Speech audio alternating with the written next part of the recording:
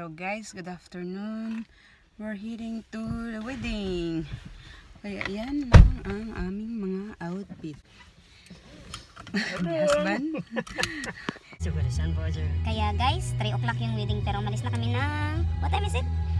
Ah, quarter past 2 kasi maghahanap pa kami ng parking tapos mag-withdraw pa yung friend ko ng pera. Hello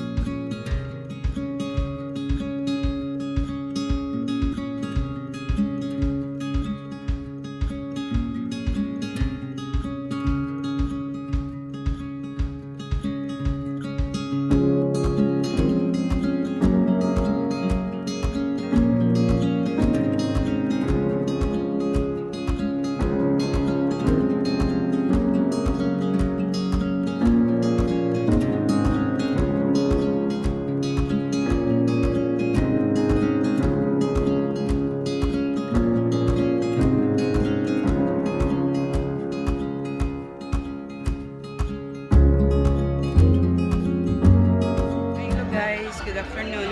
Ito yung ano nila, yung refreshment drink. Ito yung sittings. Sorry kumakain po ako guys. Yan. Ito lang yung outfit natin for today. Tapos yung band doon sa likod. Ganda ng sit up ng mga table. Hindi siya makitid at saka maraming spaces. May nagbibigay ng drinks yan, si Manang. Ang gaganda ng scarf nila guys, promise. Ito yung, sabi ko nga, yan ang giveaways nila, yung mga scarf. At saka yung pamaypay. Tapos, doon yung table sittings mo sa, ano, board. Mahangin kasi sa labas, kaya yung buho ko naging ano na, lumilipad. Guys, sosyalan yung ano ng bride, may helicopter. Kaya maglalanding sila dyan. Diba? Ay, ang ganda-ganda talaga. Swerte ng bride. Nakalanding. Lola mo. Palanding pala yung helicopter niya. Siya. Wow, sosyalan. Ang ingay-ingay. Pasensya na po.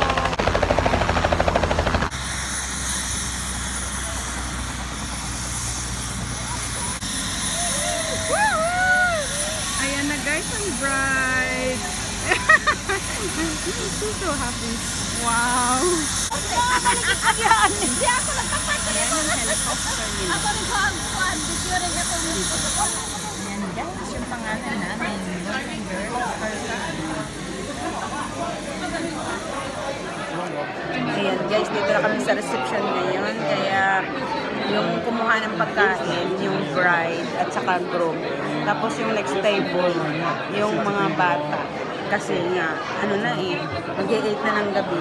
Pero maliwanag pa rin siya ulit kasi uh, may sun na. Yun, umihi lang ako kasi. Kasi nga, nahihina ako. Tsaka, nakainom din ako. Parang nadidrunk na rin nga ako. side of the Ang init, grabe. Uh, we had it, yeah. It fits right there. Tapos alam niyo ba guys, yung outfit ko, kanina lang dumating, mabuti na lang nakaano siya, nakaabot. At saka, kung sa bagay, kung hindi naman to dumating, may reserve naman ako doon, may second option ako. Yung asawa ko, sige pa rin inom. Nag-retouch na ako, naglagay lang ako ng lipstick. Kasi, very faint na yung lips ko. Mahangin sa labas, kaya ngarag-ngarag na siya. Diba? Ayan guys. Wow, lechon pam. Yung asawa ko, business na naman uli ang pag-uusapan. Guys, uminom ako ng isang ano, isang glass ng wine. Parang namula ako tsaka nagtitipsy. Kaloka. Ano ba to? Sabi ko, ay, Lord. What'd you do with your phone, hun? Kaya guys, ito naglagay ako ng tripod kasi mababa masyado yung table, walang tripod. Tapos ito, yung kamay mabalik yung eksena. Mabuti na lang yung kaibigan ko, may power bank, kaya pinahiram niya ako. Kaya kanina, one na lang talaga ako zero. Sorry guys, hindi niyo ako marinig kasi ang daming tao. Maingay din sila. Feel alright? Yeah, you blogging away? Sabi ng asawa ko, I'm vlogging away. Yes, I'm vlogging away and I'm talking to myself. Dinner time na. Pero yung iba na number 3, hindi pa pumunta dun. Yung iba kasi, gutom na rin. Thank you. Kaya, kaya yun. Corner is huge. Sige, sabi ko mamaya na lang kasi busog pa kami. Ang dami-dami namin kinain before before dumating yung bride kasi nga may ano sila, refreshment. Oh, yung mga drinks at saka mga finger foods. Ang dami ko nakain sushi. Ayan. Masarap siya pero yung ano tama, grabe. Aloka. May mga band din sila yan. oh. Tapos ito yung asawa ko. Di ba? Nakainom na yan, ha? May kiwi food at saka Pilip Filipino food siya. Saka yan si Bride. Ito si Sil at saka si Si. Hello! Kamusta? Gutom na? Oh, gutom na daw. Tingnan nyo guys, ang cute. Yan siya. Tapos nandun si Bing. Hindi ko makita. Tapos yun o, yun ang kasama ng tea. Yan ang macaron sa, sa gitna yung lechon. Mami ng bride at saka yung pamilya. Ito guys yung tea. It's pretty amazing. Yeah, it is. And one of our friends make this one. Yeah. He's working in Ireland. I thought it's melting before, but I said, oh no. Oh. Tingnan nyo guys yung pagkagawa ng cake. Sarap, sarap. Kasi ano to eh, icing. Yan, roses icing. Ang sarap. Ito guys, pila na po. Kasi gutom na ang mga beauty. Sa mga puti, may bread sila. Saka, parang risotto yata yan. Ayan, finish out niya ako kasi nag-ano ako, nagpa-vlog-vlog more please. Ooh, that's nice. Thank you. That's all. Ayan siya guys. Mo. Ito yung macarons. Siyempre, pag Pilipino ka, may rice. Diba? Ito, lechon. Lechon kawali. Sama ko kayo mo, madam. Pwede po ba may palat? Yan. Tama na yan. Kunti lang. Tapos may ano. Yan. Sige, sige. Yeah, salamat. Ito yung mga chef. Di ba? Ito si Guapito. Ito si Guapita. Ito yung ano, ang hari-hari ng pagdidecorate dito. Ito si Koy. Ayun. Ito din si ate, yung nanay ng batang ito. Ang ganda-ganda. Wala yung tatay. Puto. Ay, nako. Yan guys yung pagkain ko. Ah, ito si Jay. Ang gumawa nito. Di ba yung magkapatid? Magkapatid niya. Ako lang. Ah, ikaw lang pala. Sige, Ito guys, dinuguan. May puto. So, dinuguan at saka puto. Tsaka may rice dyan. rice eh. Ayan. Ito yung mga cook. Black pudding. Ano ko naman? Pork and blood. Of pork. Pork and this blood. one- okay. Yeah, this one is pork. And what's this? It's um rice. What do you call this one? Rice cake. Rice Rice cake. Rice cake. Puto. Kung sa Tagalog, hindi niya daw alam. Ano ba to si Nars? Hindi niya alam yung puto. Puto eh. Ay, nako. Ito yung gumawa ng cake. Si Sir. Di ba? Tingnan mo naman yung kuha niya. Hello guys, ito naman yung nanay ng bride. Pinapakilala niya yung sarili niya sa mga bisita.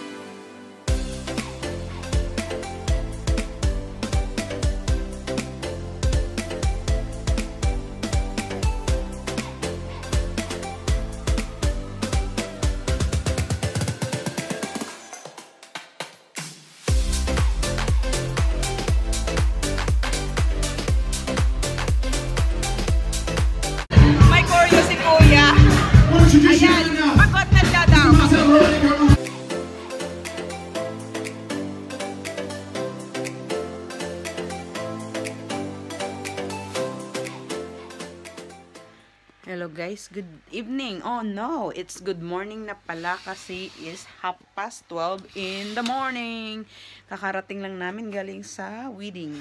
Nag-enjoy kaming lahat sa kasal ng kaibigan namin.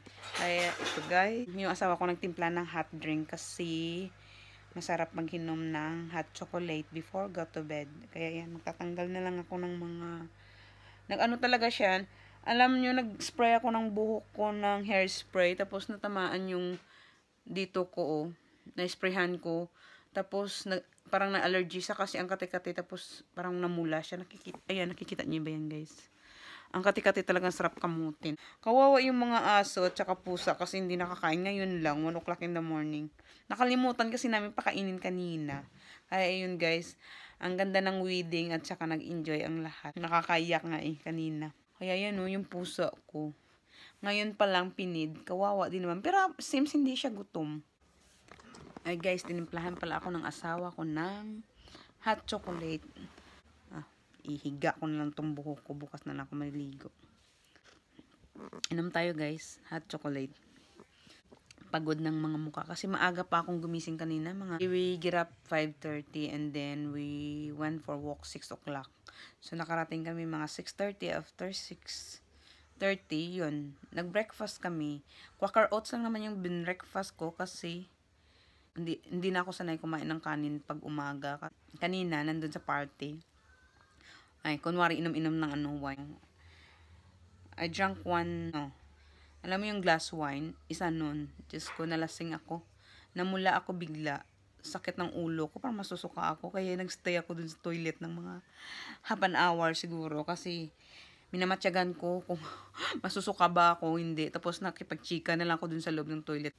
Hindi carry ng powers ko pag uminom ako ng wine kasi hindi talaga. Okay yung whiskey at saka beer kasi tolerate ako dun. Pag wine, blagadag talaga. Kaya yan guys. Sana mag-enjoy kayo sa panonood ng mga video ko and Have a good evening sa Pilipinas kung saan man lupalok ng mundo kayo. Good day and then thanks for watching and bye!